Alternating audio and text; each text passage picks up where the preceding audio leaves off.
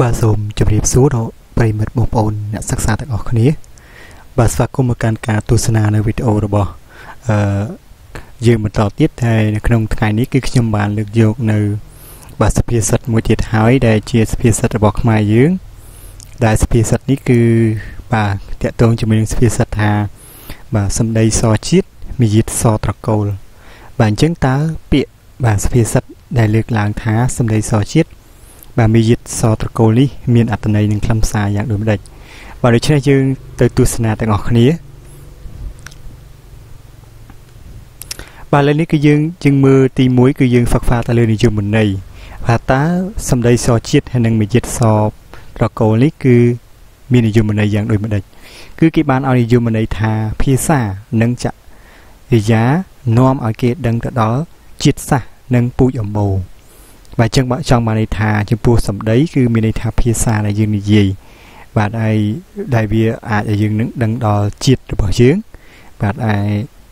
វិយាតនេះអឺវិយាតនេះគឺចាក់សំដៅទៅលើចក្រយារបស់យើងនឹងហើយហើយកាលណាដែលយើងសំដែងនៅចក្រយាវិយាតរបស់យើងទៅគឺគេអាចឲ្យយើងដឹងនឹងដឹងថាយើងនឹងពូជអម្បូរយើងនឹងគឺថ្លៃធ្នូអត់បាទសភាពរាបសារអត់ឬក៏ជាបាទពូជអម្បូរដែលមានអិយាបតយ៉ាងដូចម្ដេចខ្លះ គឺគេសំដៅទៅលើ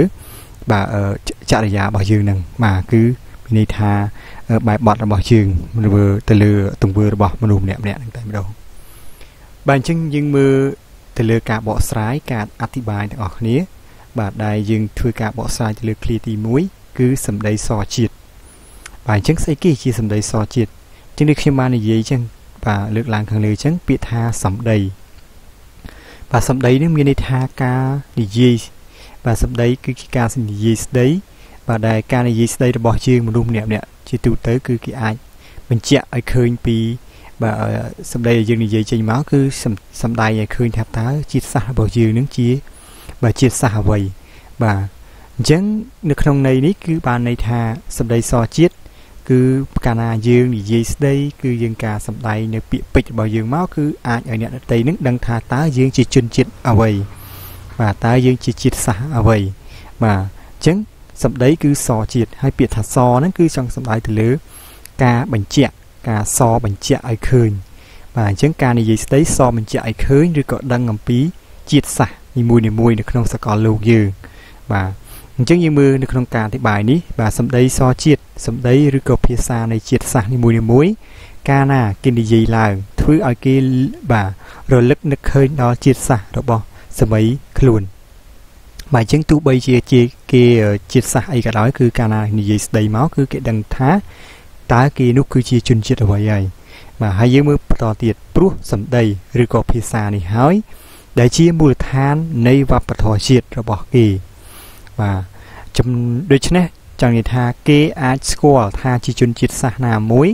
បាទគឺតាមរយៈភាសានេះឯង បាទអញ្ចឹងសម្ដីនឹងគឺជាភាសាគឺជាពាក្យពេចន៍ដែលយើងនិយាយចេញមកបាទទៅតាមជាតិសាសន៍នីមួយៗដែលធ្វើឲ្យយើងនឹងដឹងថាតើបកគលម្នាក់នឹងឬក៏សម័យខ្លួននឹងគឺជាជនជាតិអីបាទទៅតាមរយៈការប្រើនៅពាក្យពេចន៍ការប្រើនៅភាសាហ្នឹងតែម្ដងបាទយើងមើលមួយទៀតទៅលើឃ្លាទី2គឺគេដាក់ថាមាយាទសត្រកូលបាទអញ្ចឹងមាយាទសត្រកូលមាយាទគឺជាលក្ខណៈ បាទបុគ្គលបុគ្គលិកលក្ខណៈណាឬក៏ជាអតចរិតរបស់មនុស្សម្នាក់ម្នាក់បាទអញ្ចឹងមាយាទហ្នឹងគឺមានន័យបែបហ្នឹងគឺមានន័យថាមនុស្សយើងម្នាក់ម្នាក់ដែលកើតមកគឺមាននៅអតចរិតខុសខុសគ្នាបាទទៅតាមបុគ្គលនីមួយនីមួយដូច្នេះកាលណាជនជាតិណាម្នាក់ប្រព្រឹត្តនៅកម្មអ្វីមួយ បាទអញ្ចឹងប្រព្រឹត្តនៅអំពើអ្វីមួយ បាទគឺជាហេតុសបញ្ជាក់ឲ្យឃើញថាជននោះកើតនៅក្នុងត្រកូលល្អឬក៏អាក្រក់បាន បាទយើងមើលមើលបន្តទៀតបាទដូចជាយើងមើលតាក់ទងជាមួយនឹងឧទាហរណ៍របស់យើងនេះគឺក្មេងពីលម្នាក់បាទបើសិនបើយើងឃើញនៅក្មេងពីលម្នាក់ដែលគាត់ប្រព្រឹត្តតែអំពើអសិលធម៌អនាចារបាទប្រះចាកនៅគេហៅថាប្រពៃណីជាតិគេអាចដឹងថាក្មេងពៀននេះគឺរស់នៅក្នុង ត្រកូលមានការអប់រំតិច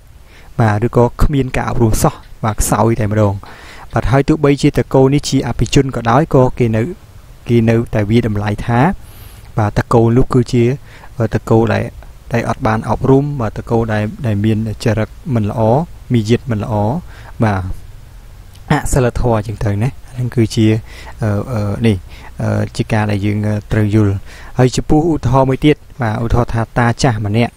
ដែលជាអភិជនម្នាក់ហ្នឹងគាត់ដើរទិញតែបាទព្រមចារីក្មេងស្រីអញ្ចឹងណាដើម្បីបំពេញតណ្ហាខ្លួនអញ្ចឹងគេដឹងថាតាចាស់ហ្នឹងគឺជាអភិជនហើយដែលចង់និយាយថាគាត់គឺជាមនុស្សដែលរស់នៅក្នុងតកូលមួយដែលហៅថាតកូលទុរយុបាទហើយអសិលធម៌ហើយវាប្រះចាកអំពីកន្លងនៃប្រតិចាបាទអញ្ចឹងមានន័យថាយើងអាចដឹងអំពីអឺគេហៅថាសកម្មភាពរបស់គាត់បាទចក្រយារបស់គាត់នឹងអាចដឹង ពីតកូលរបស់គាត់ថាតើតកូលអឺសាច់ញាតិឬក៏បាទស្ពូចអំបូររបស់គាត់ពីមុនមកហ្នឹងបាទជាមនុស្សបែបណាអញ្ចឹងនេះគឺជាការដែលយើងបកស្រាយអំពីនិយមន័យរបស់យើងគឺ